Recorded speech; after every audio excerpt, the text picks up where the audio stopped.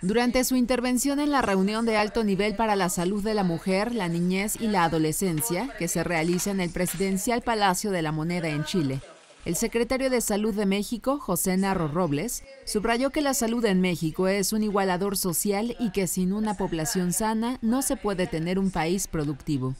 La salud en mi país la vemos desde hace muchos años, varias décadas, como un derecho, como un igualador social y como un elemento que estimula la inclusión y, la estabilidad, pero que todavía representa un punto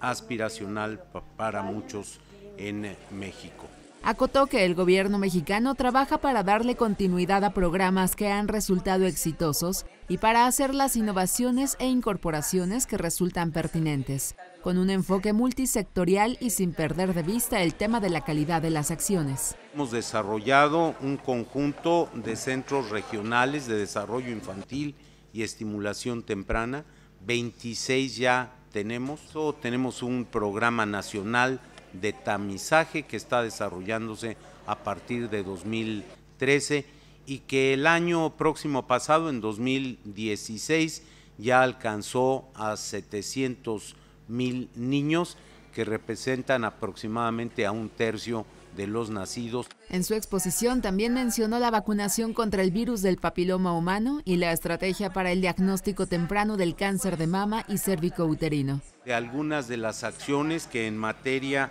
de eh,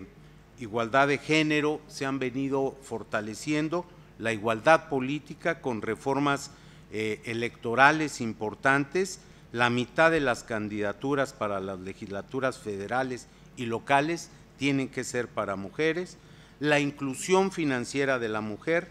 la flexibilidad en los derechos de maternidad, permitiendo que la propia mujer pueda distribuir las 12 semanas a las que tiene derecho, algunas antes y otras después del parto, y el tema de violencia contra las mujeres, en donde todavía, como en otras áreas, tenemos una eh, asignatura pendiente. Con información e imágenes de Julio Wright, corresponsal en Chile. Notimex.